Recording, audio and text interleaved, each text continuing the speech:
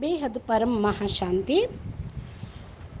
భగవంతుణ్ణి ఇరవై నాలుగు గంటలు ఎలా జ్ఞాపకం చేయాలి అనేటువంటి ఒక ప్రశ్నకు సమాధానంగా సాక్షి వేణు మనందరికీ చెప్తూ ఉన్నారు. దీన్ని ఒక ఎగ్జాంపుల్గా భలే సాధారణంగా అయినా సరే ఒక ఎగ్జాంపుల్గా తీసుకొని మనం ఈరోజు విందాము. అదేంటి అంటే ఇప్పుడు చూడండి. ప్రేమించేటువంటి వాళ్ళు ప్రేమికులు ఇద్దరు- ఉంటారు. ఇద్దరు ప్రేమికులు. ఫస్ట్ ప్రేమ అనుకోండి లవ్ ఎట్ ఫస్ట్ టైట్ అంటారు కదా. అయితే ఆ ప్రేమలో పడ్డ అటువంటి వాళ్ళు పెహ్లా పెహ్లా ప్యార్. వారి యొక్క స్టేజ్ ఎలా ఉంటుంది అంటే దీన్ని కొంచెం మనం ఆధ్యాత్మికంగా లౌకికంగానూ ఆలోచించినా కూడా ప్రేమికుల యొక్క మనసులో ఎప్పుడూ కూడా వారి ఇద్దరి యొక్క స్మృతియే ఉంటుంది. ఒకరినొకరు గురించే సదా చింతన చేస్తూ ఉంటూ ఉంటారు. ఏం చేస్తున్నారో ఎలా ఉంటున్నారో ఏం తింటున్నారో అనేటువంటి భావన ఉంటూ ఉంటుంది. ఏమేమి వాళ్ళు మాట్లాడుకున్న ప్రేమ మాటలే మాట్లాడుకుంటూ ఉంటారు. అలాగా ఒకరికొకరి యొక్క బుద్ధి ఒకరి వైపు నుంచి ఒకరికి ఉంటూ ఉంటుంది. ఒకరి గురించి ఒకళ్ళు ఎప్పుడు సదా ఆలోచిస్తూ ఉంటూ ఉంటారు. అదేవిధంగా మనం కూడా పరమాత్మను స్మృతి చేయటము అంటే అంత అలౌకికమైనటువంటి స్మృతి మనకు కూడా ఉండాలి.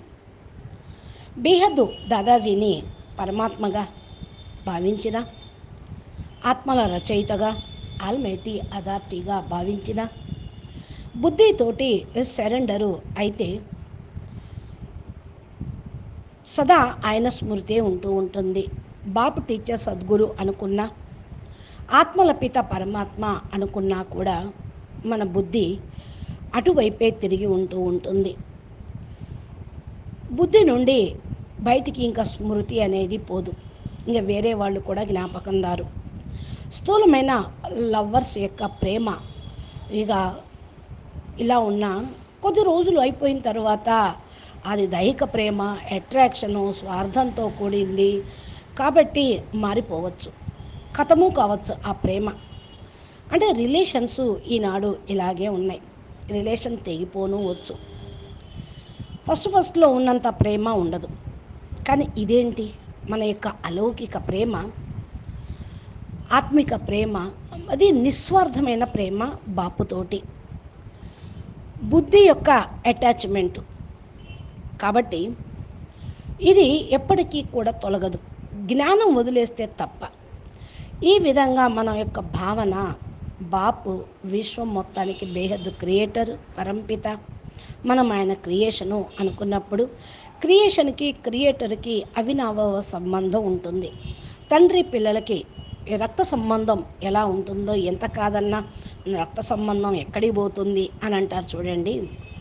అది బ్లడ్ రిలేషన్ అయితే బాపుకి మనకు ఆల్మైటీ అథారిటీకి పరమాత్మకి ఆత్మకు ఉన్నది బ్రహ్మ రిలేషన్ లైట్ స్వరూపం యొక్క రిలేషన్. ఇది అన్కండిషనల్ ప్రేమ. అనేది ఉంటూ ఉంటుంది. బేహద్ బాపూజీ తప్ప మనకు ఇంకెవ్వరూ ఇంక ఏమీ లేదు అనుకున్నప్పుడు ఆయన స్మృతియే మనకు ఒక తపనగా ఉంటూ ఉంటుంది. ఆయన లేకుండా మేము లేము అనే స్టేజ్కి మనం చేరుకున్నప్పుడు ఎప్పటికీ కూడా మరుపు అనేది ఉండదు మర్చిపోవటం అనేది ఉండదు. మనకు గుర్తుండే ఉండదు ఇప్పుడు బీకే మురళిలో కూడా చెప్తూ ఉంటారు. బాబాని ఎలా మర్చిపోవాలి అనే విధంగా అనుకోవాలంట. ఎలా జ్ఞాపం చెయ్యాలి అని కాదు. అసలు ఆయన ఎలా మర్చిపోతామండి? అనే స్టేజ్కి రావాలి అని మనది ఉన్నదన్నమాట. అదే స్మృతి భక్తుల్లో కూడా చూడండి. కృష్ణుడు భక్తులు కృష్ణుడు విగ్రహాన్ని చేతిలో పెట్టుకొని ఆయన సర్వస్వం అనుకొని మరి మీరాలాగా వేషం వేసుకొని పెళ్ళి కూతురులాగా వేషం వేసుకొని ఎంతోమంది బృందావనంలో మధురలో తిరుగుతూ ఉంటూ ఉంటారు. ఆ యొక్క ప్రేమలో లవలీనమైపోతారు. మనం బాపు యొక్క ప్రేమలో లవలీన స్థితి సమానమైన స్థితి. బాపు జ్ఞాన దండనత ఇస్తూ కోప కోపగించినా సరే మనకు చాలా ప్రియంగానే అనిపిస్తుంది. ఇష్టమైన వాళ్ళు కోప్పడినా ప్రేమగా ఉంటుంది కదా. ఆయనే మనకు జీవితం. భలే ఎన్ని కఠినమైన నియమాలు పెట్టినా ప్రేమ మనకు తగ్గదు. ఇప్పుడు చూడండి స్మృతి ఆయన జ్ఞాపకం తలుచుకుంటేనే ఇరవై నాలుగు గంటలు ఏంటి అసలు జీవితం మొత్తం? ఇంకెన్ని గంటలు ఉన్నా లౌకికంలో స్థూలమైన హద్దు కాలమానంలో తక్కువే అవుతూ ఉంటుంది. మరి మనం ఇక్కడ గృహస్థీకులం లౌకికం అలౌకికం యొక్క బ్యాలెన్సు పెట్టుకుంటున్నాం. ఆయనతోటే జీవితం అనుకుంటూ ఉంటే జీవితంలో ఎన్ని కష్టాలు వచ్చినా భలే శారీరకంగా మానసికంగా ఆర్థికంగా అయినా సరే బ్యాలెన్స్ మనము పెట్టుకోగలుగుతాం. ఆయన కోసమే సేవ కోసమే మనం జీవిస్తూ ఉన్నాము కనుక మన బుద్ధితోటి సరెండర్ అయిపోవాలి. సరెండరు అంటే మన్మనాభవ కావటమే మనసుని ఇవ్వటమే. ఏ స్థూలమైన ఆస్తులు ఇవన్నీ అప్పచెప్పడం కాదు కదా.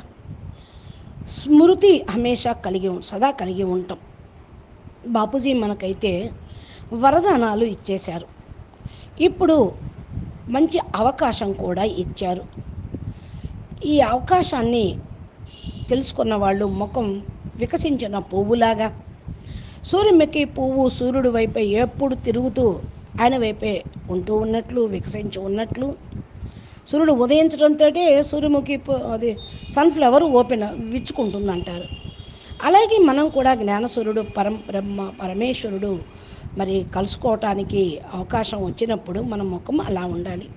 ఆనందంగా ఉండండి. బాపూజీని కలుసుకోండి. మరి సాకారంగా బాపుని కలుసుకోవటము అంటే బేహద్దు ప్రాప్తికి గుర్తు. బేహద్దు పరివారాన్ని కలుసుకుంటూ ఉన్నారు. కనుక మనము బేహద్దు పరివారము అంటే ఒక ఆత్మిక ఆధ్యాత్మిక మాల. ఒక్కొక్క ఆత్మ మాలలో పూసలు. ఒక్కొక్క పూస కూడా ఒకదానికొకటి కలిసి ఉంటేనే మాల చక్కగా గుచ్చబడుతుంది మాల మాలగా తయారై ఉంటుంది. ఏ మా మాలలో ఏ పువ్వు ఏ పూస జారిపోయినా మాల తయారు కాదు. ఎలా జారిపోతుంది అంటే బలహీనతలు లోటుపాట్లు ఉంటే జారిపోతూ ఉంటుంది. అప్పుడు మాల తయారు కాదు. మరి కాబట్టి ఇప్పుడు ఎవరి ఎడల ఎవరు మన్ముటావు అనేది ఉండకూడదు. మనసులో వేరే ఆలోచనలు రాకూడదు. ఏదైనా బలహీనతలు ఉన్నా కూడా తొలగించుకోండి. ఇక్కడ కళాక్లేశాలు పోట్లాట్ మన మతభేదాలు అనేవి ఉండవు. కాబట్టి ఈ విషయాన్ని మీరు సదా సదా జ్ఞాపకం ఉంచుకోండి అని చెప్తూ ఉన్నారు अच्छा परम परमश